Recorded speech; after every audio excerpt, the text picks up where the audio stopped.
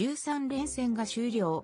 前日は休養日だったドジャースレイズ日時間24日、ロサンゼルスドジャースの大谷翔平投手は23日、日時間24日、4度コロチでのレイズ戦に1番指名打者で出場する。この日、球場には髪の毛をカットしたさっぱりとした姿で登場した。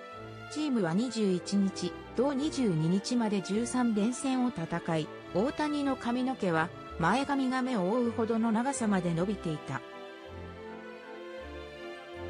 22日、同23日は休養日。23日、同24日に球場に姿を見せた大谷は、黒い半袖シャツに白い短パン、サンダルを履いた涼しげな装いだった。試合前には、キャッチボールのためグラウンドに登場。マックストロング、T シャツを着用していた。フルカウント編集部、